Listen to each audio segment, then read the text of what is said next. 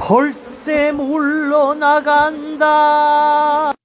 떡은 꿀 찍어 먹는 게 제격이야. 따봉. 음, 아주 맛있네. 음. 안녕하세요. 세계적인 물리학자 아인슈타인은 꿀벌이 사라지면 인류는 4년 안에 사라진다고 했습니다. 오늘도 열심히 인류를 지키려고 노력하고 있는 사랑 담은 꿀 대표 아들입니다. 지난 편에서는 진짜 꿀 구별법과 숙성 꿀에 대해 알아봤는데요. 자, 그럼 지금부터 지난 편에서 못다한 양봉과 아버지가 들려주는 꿀에 대한 비밀 같이 알아볼까요? 지금 출발하시죠. 같이 가시죠. 그러면 숙성 꿀은 왜 좋은 거야? 숙성 꿀은 얘네들이 꿀을 만드는 과정에서 꿀을 먹고 뱃속에서 소화시키고 또 다시 뱉고 이렇게 하, 하는데 요 여기 벌이 조그만데 요 머리 요쪽에 보면 어금니가 있어 이빨.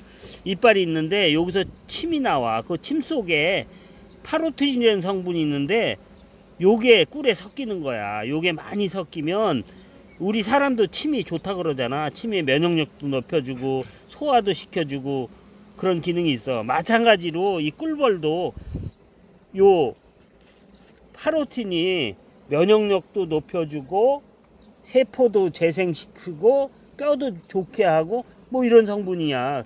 요게 이제 많이 섞이고 요 요 뱃속에서 뱃속에서 효소가 섞이게 되는 거야. 그래서 숙성꿀이 좋은 거야. 아. 아빠는 어제 분목로 나고 그래서 이거 엄청 힘든데 뭐 이렇게 숙성꿀을 만들어 이렇게 힘들게?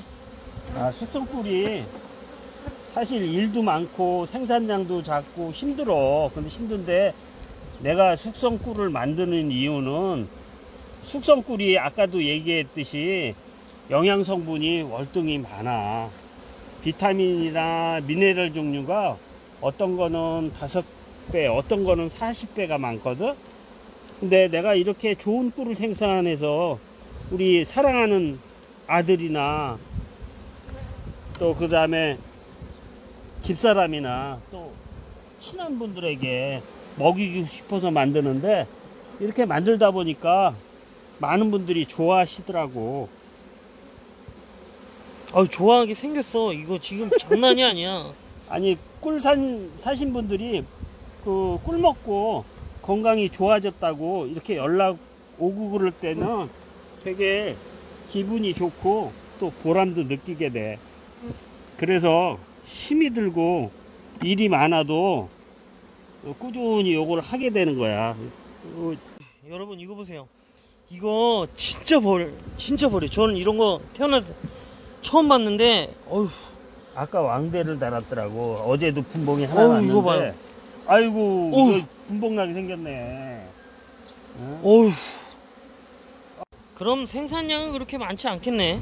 그렇지. 그 일반 보통 시중에서 파는 꿀 한 여섯 병 정도 만들 때 이렇게 만들면 한 병 정도 만드는데 아빠가 특별히 연구를 많이 해서 또 이렇게 하면서도 많이 할 수 있는 방법을 알지. 그럼 어떻게 그렇게 하는 거야?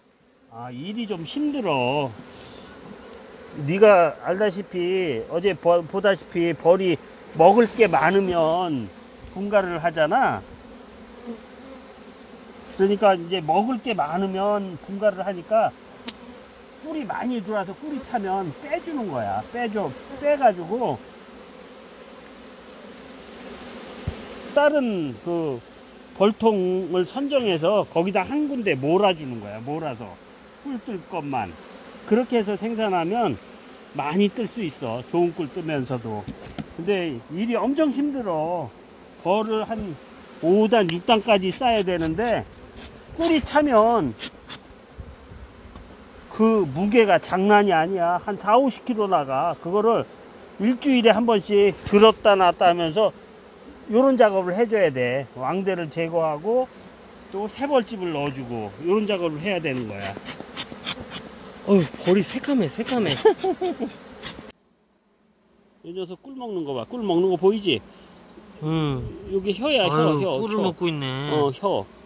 이게 지금 꽃에서 가져온 지 꽤 된 꿀이야. 된 꿀인데도 이렇게 물지. 물고 그러면 얘네들이 요걸 바로 못 먹거든. 요거를 여기 가져온 요 꿀을 얘처럼 먹는 거야. 먹어서 뱃속에서 소화를 시켜. 그때 전화 효소는 효소인 인베르타자를 넣는 거야. 그러면 꿀이 원래는 꽃꿀은 자당 성분인데 요 자당 성분이 과당하고 포도당으로 전화가 되는 거야. 이 전화가 되면 우리 사람이 먹었을 때 소화 과정을 거치지 않고 장에서 바로 흡수되는 거야. 아유, 요 꿀, 꿀, 여기 음. 꽃가루 채운 거 봐. 어휴, 그렇지? 꽃가루가 엄청나네. 응. 제가 이제 연차가 끝나서 가야 돼서 제가 올리는 영상은 여기까지입니다. 지금까지 영상을 잘 봐주셔서 감사하고 요번에 저희 아버지가 정말 힘들게 꿀을 키우는 걸 알았어요. 진짜 꿀이라는 것도 정말 알고 있었지만 더 잘 알았고요.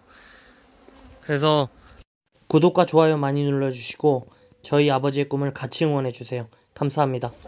얘들아 간식 먹자 이리와라 간식 먹자 야 나와 야 여기 거의 동물농장이네요.